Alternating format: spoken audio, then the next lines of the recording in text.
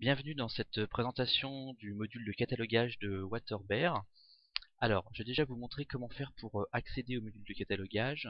Vous avez plusieurs manières de le faire. Le plus simple, quand vous êtes sur la page d'accueil, je vous rappelle que pour aller sur la page d'accueil, à tout moment, vous cliquez ici sur la petite maison dans la barre latérale. Donc sur la page d'accueil, vous avez ici le bloc catalogage et vous choisissez le type de document que vous voulez cataloguer, livre, CD ou DVD. Et vous avez sinon les revues qui se trouvent à un autre endroit. Donc ici, on va euh, cataloguer euh, un livre pour la démonstration, mais ça marche vraiment de la même manière pour euh, les CD les DVD. Et plus généralement, dans Waterbear, le fonctionnement est exactement le même, que ce soit pour enregistrer un lecteur, des exemplaires, des auteurs, des sujets, quel que soit le, type d'objet qu'on a, des commandes, des revues, ça va toujours être le même principe. ce qu'on va voir là, ça va s'appliquer pour, euh, pour tous les autres euh, types d'objets. Alors, la première chose qu'on va voir, c'est euh, le catalogage vraiment le plus simple recommandé en utilisant la récupération de notices via Mocam en ligne. Donc ça, c'est vraiment la technique qui permet de faire du catalogage en quelques secondes sans perdre de temps. Donc pour ça, il va vous suffire simplement de rentrer ici l'ISBN de votre document. Alors, c'est un champ qui est contrôlé, c'est-à-dire que si vous saisissez euh, quelque chose qui n'est pas un ISBN, il va vous le signaler, il va vous dire que c'est inconnu. Si vous, si, vous saisissez un ISBN euh, qui existe déjà, qui a déjà été euh, catalogué, hein, donc un doublon, même chose, il va vous signaler que le, code barre est déjà utilisé. Donc vous n'allez pas pouvoir créer de doublon, même si c'est un comportement qui est paramétrable. Donc on va saisir un ISBN existant, plutôt donc qui n'est pas dans la base mais qui est correct. Alors le plus simple évidemment c'est de le scanner avec une bouchette mais moi j'en ai pas. Voilà. Et on va cliquer sur la petite icône baguette magique qui se trouve ici, récupérer cette notice depuis Mocam en ligne. Ça va prendre que quelques secondes. Voilà, toutes les informations ont été récupérées. Vous voyez. Alors le principe c'est que ça récupère sur Mocam en ligne donc en priorité, ça va récupérer les infos de la BNF, de la Bibliothèque nationale de France, si euh, c'est disponible. Euh, si c'est un ouvrage qui est récent, qui est paru depuis vraiment pas longtemps, il est probable que ce ne sera pas encore euh, disponible à la BNF. Donc dans ce cas-là, les informations sont récupérées à la librairie Dialogue. Et on récupère aussi dans tous les cas, quand c'est disponible, le résumé à la, à la, librairie Dialogue. Et alors ce qui est très intéressant, c'est que même si la notice n'a pas été trouvée à la BNF tout de suite, euh, ou même si on n'a pas trouvé de notice du tout, euh, Mocam en ligne enregistre euh, l'ISBN de cette notice, il va régulièrement vérifier si ça a été si ça a été catalogué par la BNF et si c'est le cas la notice dans, dans Waterbear est automatiquement remplacée. Donc vous n'avez rien à faire vous n'avez pas de contrôle à faire vous n'avez pas de, suivi à faire. Même si vous avez une notice qui dans un premier temps est de, est de qualité un peu médiocre parce que les, les auteurs sont pas toujours bien saisis ou des choses comme ça vous inquiétez pas, dans les semaines à venir, ça va être, euh, ça va être corrigé automatiquement dans Waterbear euh, via la BNF. Donc ça c'est ça c'est automatique. Donc une fois que vous avez saisi ça, euh, tout ce que vous avez à faire, c'est créer votre exemplaire. Donc pour ça, vous allez dans l'onglet exemplaire. Vous saisissez donc un exemplaire valide. Même chose, là il y a, une saisie, c'est-à-dire si vous saisissez un numéro qui n'est pas un exemplaire, un numéro d'exemplaire correct, il va vous le signaler. Donc on va en saisir un qui est correct.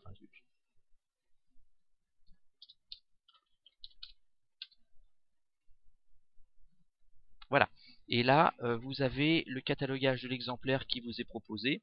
Alors ce qu'il faut savoir, c'est que là, c'est des informations essentielles, donc 99% de ce dont vous avez besoin au niveau des exemplaires qui apparaissent. Mais si vous cliquez sur cette petite icône, là, mettre à jour cet exemplaire, vous ouvrez la fiche exemplaire qui est plus complète, mais généralement, on n'en a pas besoin. On peut se contenter de ces informations-là. Donc vous avez le code barre, la section adulte ou jeunesse, la bibliothèque euh, qui possède ce document. Alors par défaut, euh, la bibliothèque qui apparaît là, c'est la bibliothèque dans laquelle vous cataloguez. normalement, la plupart du temps, vous n'avez pas besoin de le modifier. La cote, donc là c'est la seule chose vraiment que vous avez besoin, euh, de modifier parce que là il faut que ça s'adapte, s'adapte à votre plan de classement. Là par exemple, si on choisit de, simplifier par rapport à l'indexation de la BNF. Le type de document, donc là on avait dit que c'était un livre. L'emplacement, ça, c'était, euh, c'est une information qui est utilisée pour euh, faire des statistiques hein, plus fines euh, sur votre fond.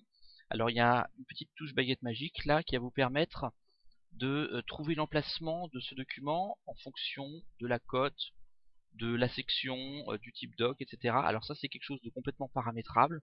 Vous pourrez dire voilà tout ce qui commence par 15, bah, c'est de la philosophie, etc. Donc c'est un paramétrage qui est un petit peu plus complexe, donc je ne vais pas le, montrer aujourd'hui, mais c'est complètement paramétrable. Voilà. Puis vous avez la possibilité de paramétrer un statut, normal par défaut, mais ça peut être en consultation sur place, euh, ou alors euh, pilonné, etc., etc. Et puis un, message éventuellement. Euh, alors vous, choisissez au niveau de votre message, c'est un message qui peut apparaître au moment du prêt ou du retour. Alors vous choisissez, soit il s'affiche pas du tout, soit il s'affiche et on a juste à faire OK, soit il peut, il est bloqué quoi qu'il arrive, c'est-à-dire que le prêt est impossible, euh, ou alors c'est au choix du, bibliothécaire au moment du prêt d'accepter ou de refuser euh, le prêt en fonction du message. Voilà.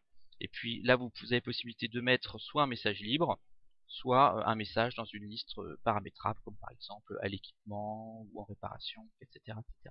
Voilà, donc vous voyez qu'au niveau de l'exemplaire c'est très rapide. Quand vous avez terminé, vous cliquez sur la petite disquette, là, enregistrer la notice, vous voyez qu'elle clignote, il y a un petit éclair qui clignote, ça veut dire que votre notice, euh, votre notice elle a été modifiée, elle nécessite un enregistrement. Là si on essaye d'aller sur une autre page, il va vous mettre un message, vous voyez, il vous prévient, donc restez sur la page, là on enregistre, ça clignote plus, c'est bon, notre notice est enregistrée, on a fait notre catalogage, vous avez vu c'était très rapide. Alors maintenant qu'on a vu le catalogage euh, rapide avec la récupération de notices hein, qui est recommandé, euh, je vais vous montrer un petit peu plus en détail le catalogage quand on veut le faire soi-même, euh, quand on veut faire ça champ par champ. Donc on va créer une nouvelle notice euh, de zéro. vous voyez que c'est une autre manière d'aller dans le catalogage, c'est d'utiliser les icônes qui sont là, elles sont visibles quand on est déjà dans le module catalogage. Pour aller dans le module catalogage, c'est le petit livre là sur la gauche. Par défaut, on est, on est dans la recherche, recherche documentaire, et puis on peut créer soit un livre, soit un CD, soit un DVD par ce biais. Alors on va, on va créer une notice euh, depuis zéro pour vous présenter plus en détail les euh, différents modules du catalogage. Alors vous voyez déjà que la grille de catalogage est composée de différents onglets. Alors ici c'est extrêmement simplifié. J'ai fait le choix là pour euh, cette version de Waterbear qui est accessible en ligne, qui est plutôt à destination des petites bibliothèques, d'avoir un catalogage simplifié au maximum. Donc vous avez peu de champs qui sont assez ramassés, simplifiés. Le but c'est d'aller vite et de faire simple. Mais vous avez la possibilité dans Waterbear de créer des grilles de catalogage beaucoup plus complexes avec la totalité des champs Unimark, etc. etc. Ici c'est pas le cas, c'est un catalogage simplifié. Donc on va essayer de regarder un petit peu champ par champ, puis je vais vous montrer les, spécificités. Donc là, l'ISBN, hein, on a dit euh, on a dit que c'était euh, un champ qui était euh, saisi, qui était soumis à, à contrôle. Donc là j'ai supprimé la notice qu'on avait créée tout à l'heure pour pouvoir recommencer le catalogage manuellement. La seule différence, c'est que cette fois-ci, je ne vais pas cliquer sur la petite baguette magique, donc je ne vais pas récupérer les informations depuis Mocam. Donc, ISBN, pas de difficulté. Le prix en euros. Euh, le titre, donc le, champ euh, vraiment obligatoire.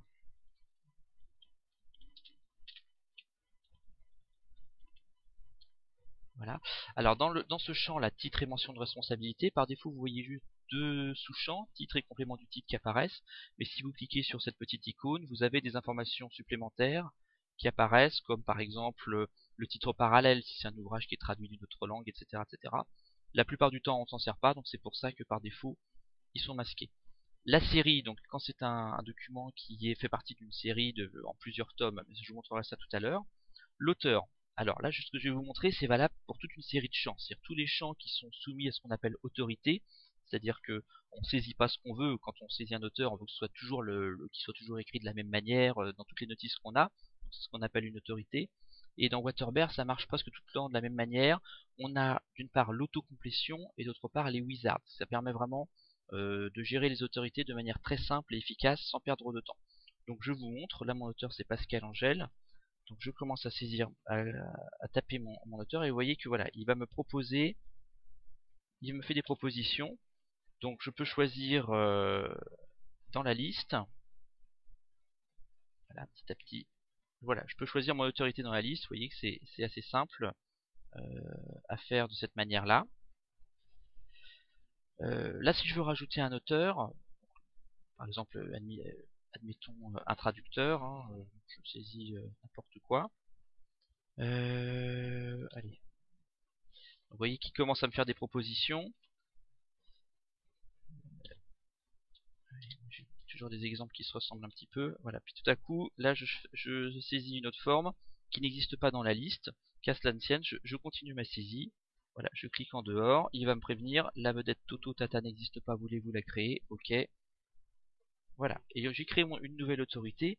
Vous voyez, l'avantage c'est que c'est très simple, on n'a pas besoin d'ouvrir de nouvelles fenêtres, des pop-up ou quoi que ce soit, ça se fait directement dans le, dans le module de catalogage sans rien avoir d'autre à faire.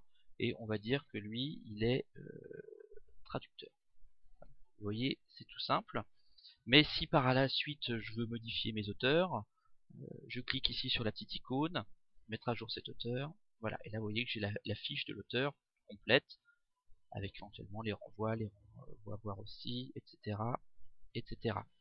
Dans cette euh, version de Waterbear qui est en ligne, pour simplifier, il n'y a pas de notion d'auteur principal, auteur secondaire, auteur nom de personne, nom de famille, etc., etc.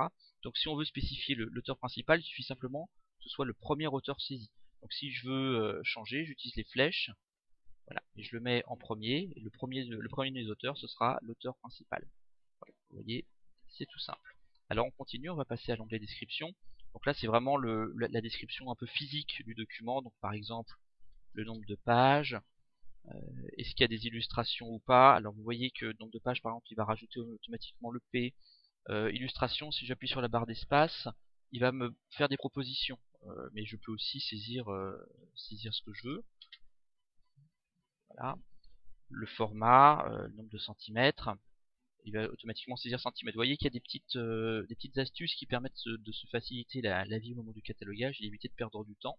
Éditeur, ça va marcher exactement de la même manière que l'auteur, à savoir il nous propose, nous propose euh, les éditeurs qui sont déjà dans la base, et si ça marche pas, on peut les saisir manuellement. Alors petite astuce quand on a ce qu'on appelle donc les wizards qui permettent de faire la saisie directement on a un petit point d'interrogation là qui nous dit quel format utiliser. Par exemple pour l'éditeur, on va saisir éditeur de ville. Pour, euh, pour l'auteur, je retourne à mon auteur là, le format de saisie c'était nom, virgule, prénom, entre parenthèses date, ou juste nom, virgule, prénom, ou juste nom. Vous voyez? Donc ça c'est les différentes formules, euh, formats qui sont reconnus pour ensuite la création des auteurs. Donc euh, la date, même chose pour euh, la collection. Donc là, tout ça marche, je mets au hasard. Ça marche toujours de la même manière. Langue du document, langue du texte et langue originale si c'est une traduction. J'insiste pas. Sujet, ça va marcher exactement de la même manière que les auteurs, euh, éditeurs, etc. etc., etc. Est-ce que j'ai quelque chose? Voilà, psychologie, philosophie, très bien. Alors, indice du way, il y a quelque chose qui est intéressant, c'est que on peut soit faire la euh, commencer à saisir euh, par l'indice. Donc là, vous voyez, petit à petit, il me propose différents indices qui existent dans la base. Soit on peut saisir par l'intitulé. Donc là, c'est la technique que vous préférez.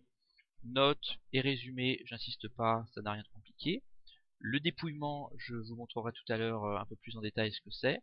Et puis les exemplaires, on a vu euh, on a vu tout à l'heure comment ça marchait. Vous voyez, c'est assez simple. On précise section, bibliothèque, la cote. Donc la cote, là par défaut, elle vous est proposée à partir de l'indice du way hein, et par rapport au, nom de l'auteur principal. Euh, et puis l'emplacement, on a dit qu'il y avait un petit euh, wizard qui vous permet de, proposer l'emplacement par défaut. Voilà, on enregistre, toujours penser à enregistrer à la fin. Et voilà, on a fait la création d'une notice. Alors je reviens juste sur quelques points qui étaient un petit peu avant, euh, un peu plus avancés. Euh, la notion de série, donc quand un ouvrage fait partie d'une série, donc il y a plusieurs tomes, euh, on peut faire la recherche ici de la série,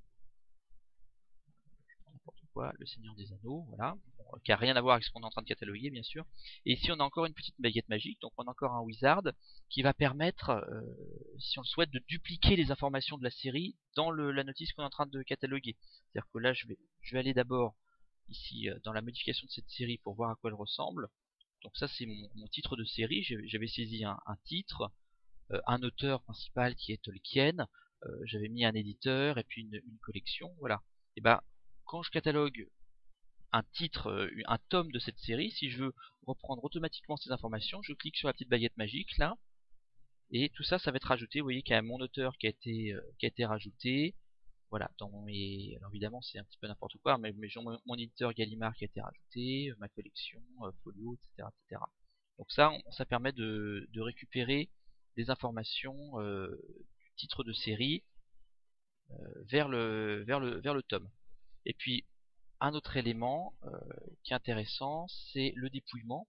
Donc ça, le dépouillement, c'est quand vous avez par exemple une, revue, enfin un, titre de revue avec des articles où vous avez un CD avec plusieurs, plusieurs morceaux musicaux dedans, etc., etc et ben vous les cataloguez, vous mettez euh, voilà, vous allez mettre vos titres et puis là vous allez pouvoir saisir l'auteur mais en fait les auteurs on va reprendre les auteurs qu'on a saisis au départ là dans, cette partie là dans la, partie auteur ici vous saisissez tous les auteurs de tous les morceaux tous les articles euh, qui sont dans votre dans votre document et puis dans l'onglet dépouillement vous allez simplement associer en disant quel auteur est l'auteur de quel, euh, titre. Donc là, vous pouvez soit commencer à saisir vos auteurs il va vous chercher ceux qui ont déjà été saisis, ou ça peut être simplement barre d'espace et il vous propose voilà, les auteurs qui ont déjà euh, été saisis euh, dans les auteurs. C'est assez simple et à la fin toujours enregistré. Voilà, bon, quelques informations supplémentaires. Euh, au niveau des icônes que vous voyez ici, bon c'est assez simple, cette icône là ça va permettre de supprimer la notice, sachant que pour supprimer la notice il faut d'abord avoir supprimé les exemplaires qui sont rattachés, et pour supprimer les exemplaires il faut qu'il faut plus qu'il y ait de, prêt en cours. Donc, ça c'est assez simple. Cette icône là vous permet de modifier le masque. Alors par défaut vous avez un masque qui, vous cache la plupart des, des champs et des sous-champs qui ne sont pas forcément très utiles, mais vous pouvez demander aucun masque. Et là, vous avez euh, la totalité des informations. Vous voyez qu'il y a beaucoup plus de choses que, euh, ce qu'on voit, voit au départ. Il y a plein de champs codés, etc., etc. Mais comme on n'en a pas besoin, voilà, la plupart du temps, on, met le, masque. Vous avez ici un menu rebondir qui est euh, assez utile et qui vous permet de, voir les informations liées à cette, cette notice.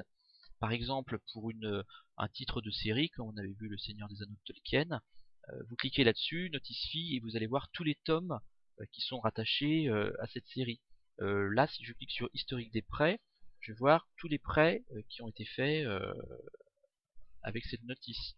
Je peux également faire les prêts en cours, même chose avec les réservations, c'est le même principe.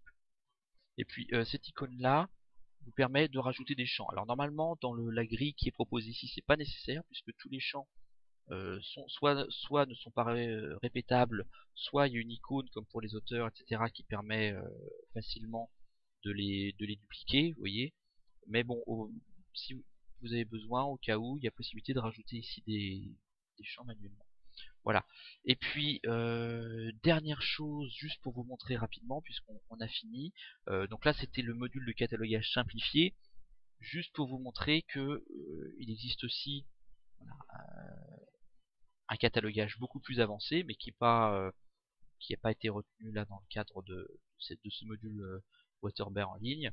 Voilà, puisque dans Waterbear, toutes les grilles de catalogage sont complètement paramétrables, on peut créer des champs, euh, tous les champs qu'on désire, et donc il y a possibilité d'avoir un catalogage beaucoup plus complet, beaucoup plus complexe, mais c'est pas le choix qui a été fait dans, dans, la version de, de Waterbear en ligne, même si vous avez la possibilité, si vous le souhaitez, de modifier le paramétrage. Voilà, j'ai terminé cette présentation du module de catalogage. À bientôt